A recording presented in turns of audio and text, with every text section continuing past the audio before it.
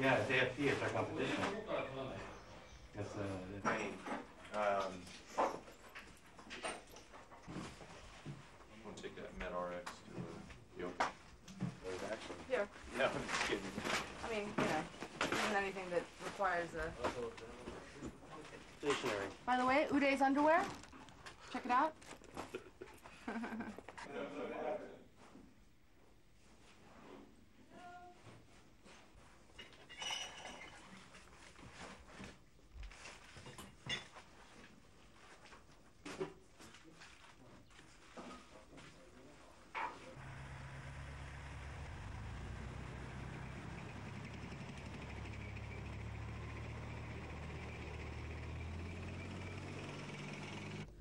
A lot of uh, black market uh, merchandise, like liquor, a lot of U.S. liquor, a lot of French-made wines, uh, Lladró porcelain from Spain, uh, Bohemian crystal, Swarovski crystal, uh, Swarovski crystal from uh, Czechoslovakia and Germany, Oriental rugs, probably three, four hundred Oriental rugs, some what we determine to be a lot of cooking supplies and food processors and things that the local populace would need if there is a food or if there is a water or electrical sh- uh, outlet or shortage.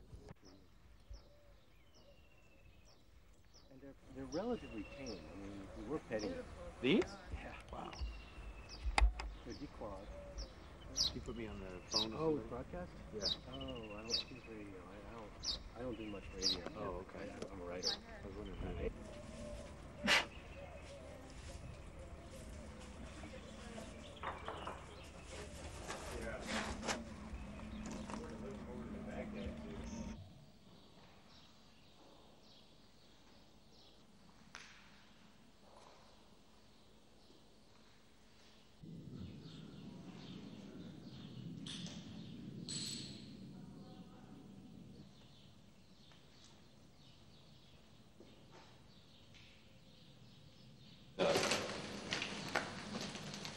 Don't even start. It was kind of hard. It was a 55 uh, Bel Air out there that was totally crushed.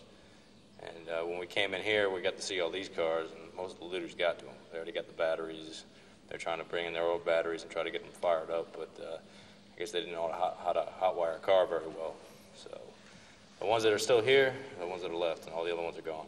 The remnants of some of them, like the Range Rover and all that, all the high-class ones, must be uh, driving around Baghdad right now, along with the ones that were across the road. There's actually another garage that's totally empty.